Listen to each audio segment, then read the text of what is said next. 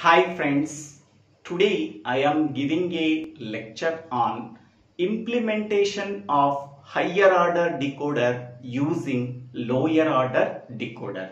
One example for this topic is implementation of 3 by 8 decoder using 2 by 4 decoder.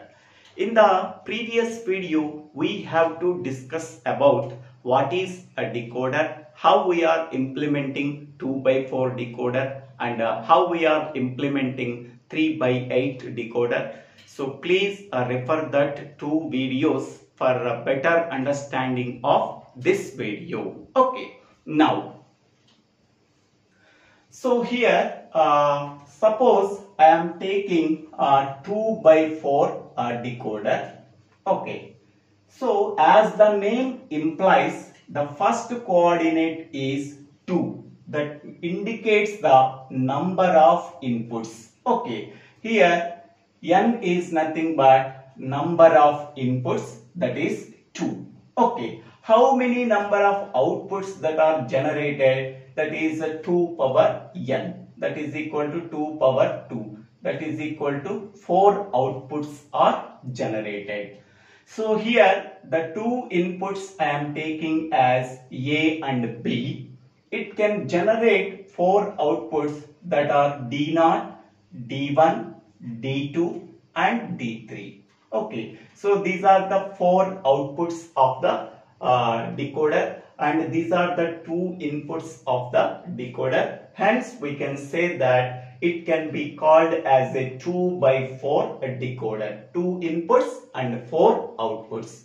Now, among the four outputs, okay, one output is active, actively high based on the possible combination of input values A and B when the enable input E is equal to 1. Okay.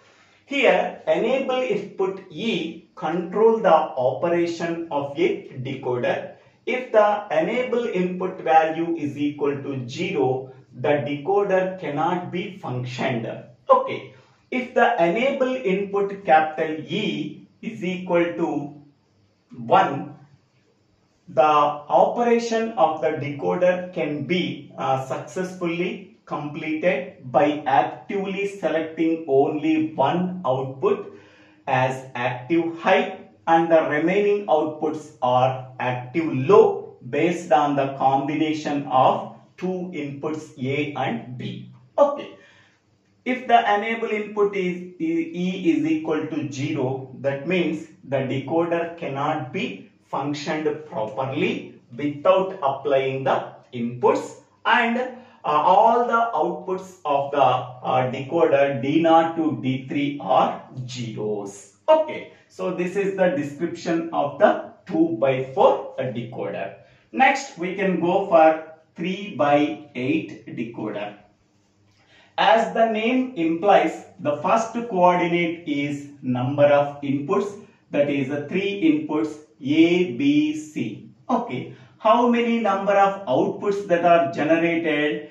N is equal to 3, so that is 2 power 3, that is 8 outputs are generated.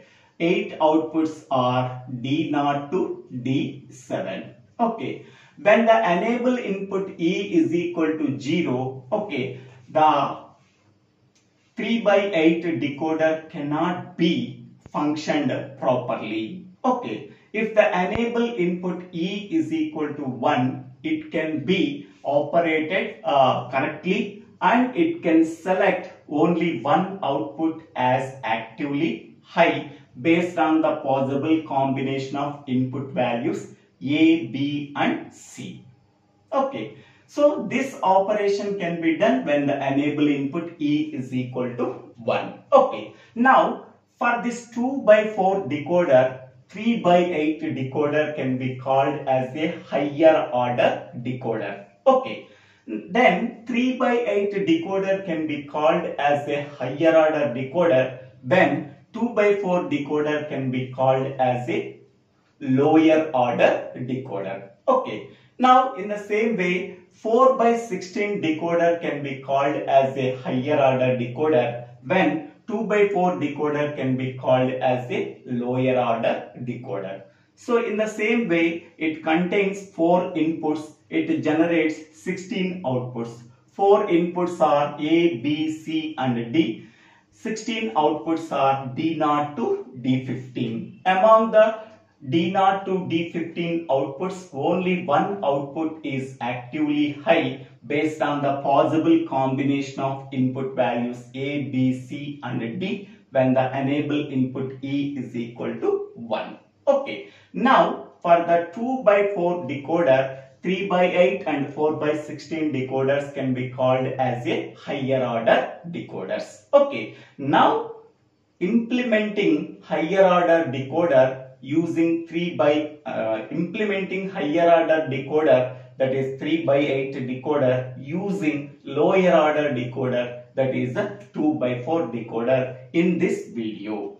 Okay, in the next video, we have to discuss about implementation of higher order decoder that is 4 by 16 using two 3 by 8 decoders. At that time, 4 by 16 is the higher order decoder and 3 by 8 decoder is lower order decoder. Okay. Now, in this video, first we have to implement implementation of 3 by 8 decoder using 2 by 4 uh, decoder. Okay. How many number of 2 by 4 decoders are required to implement 3 by 8 decoder? That is required number of lower order decoders such as 2 by 4 decoders is equal to M2 by M1. This formula is used for calculating the number of lower order lower order decoders are required to implementing higher order decoder where M2 is nothing but number of outputs of higher order decoder next whereas M1 is number of outputs of lower order decoder. Okay, now M2 is nothing but number of outputs of higher order decoder. M1 is nothing but number of outputs of lower order decoder. Here higher order decoder is 3 by 8. Okay, this is a higher order. Higher order.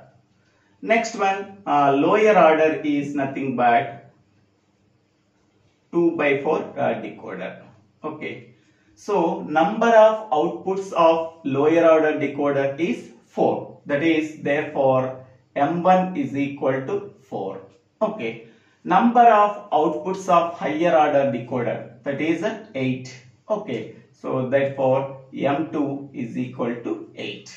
Okay. Now the by using this formula we have to find out the number of lower order decoders are required to implement higher order decoder that is 8 by 4 8 by 4 is nothing but 2 that is 2 2 by 4 lower order decoders are required to implement 3 by 8 higher order decoder. Okay. Now the block diagram is shown in this uh, figure. Okay. So this is the first 2 by 4 decoder and this is the second 2 by 4 decoder. Because two 2 by 4 decoders are required to implement 3 by 8 decoder. This is the first 2 by 4 decoder and this is the second 2 by 4 decoder. As the name implies, it can it can accepts two inputs that is A and B are two inputs that are connected to the 2 by 4 decoder as inputs.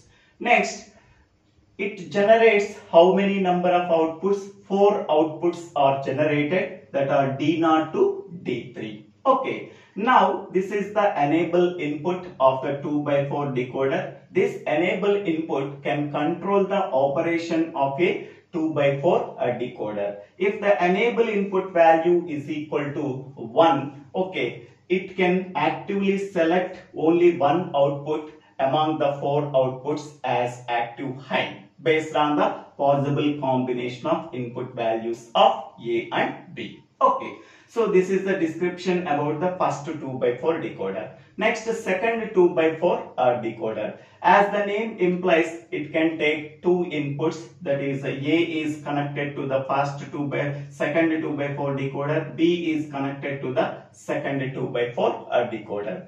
It generates four outputs that are uh, D4 to D7. Here D0 to D3 is the outputs of first 2 by 4 decoder and D4 to D7 are the outputs of the second 2 by 4 uh, decoder. Okay. So hence we can say that two inputs and four outputs. This is the second 2 by 4 decoder. This is the enable input. Now uh, here eight outputs are there but here only two inputs are connected to uh, first 2 by 4 decoder and second 2 by 4 decoder. Where is the third input? The third input variable that is the C, C is directly connected to the second order, second 2 by 4 decoder to the enable input. Okay. The input variable C is directly connected to the enable input of the second 2 by 4 decoder and it can generate uh, four outputs by taking the uh, two inputs A and B. This is the third output. Okay. Now the complement of the complement of third variable, third input variable C is connected to the enable input, enable to the enable input of the first 2 by 4 decoder. Okay. Now the third input is directly connected to the second 2 by 4 decoder to the enable input. The complement of the third input is connected to the enable input of the first 2 by 4 decoder. Now, so 3 inputs are there and 8 outputs are there. So C value is equal to 1. It is directly connected to the second 2 by 4 decoder. C value is equal to 0. It is direct, it is uh, the complement of C is connected to the first 2 by 4 decoder. Okay. Now, uh, C is equal to 1 means the second 2 by 4 decoder is active and C is equal to 0 means the first 2 by 4 decoder is active. Okay. So, the, con uh, the control the control of the 3 by 8 decoder can be done by using the enable input. Here the enable input is the third input variable. The third input variable decides this decoder is active or this decoder is active. Among the two decoders, only one decoder is active. Okay, if C value is equal to um, 1, okay, the second 2 by 4 decoder is active. If C value is equal to 0, the first 2 by 4 decoder is active. Okay, among the two 2 by 4 decoders, at a time only one 2 by 4 decoder is active. Okay. So this is the description about implementation of 3 by 8 decoder using two 2 by 4 decoders. So thank you. Thank you for watching this video. If you like this video, please share this video to your friends and classmates. If you like this video, please subscribe my channel name. So Divvela Srinivas Rao. Thank you.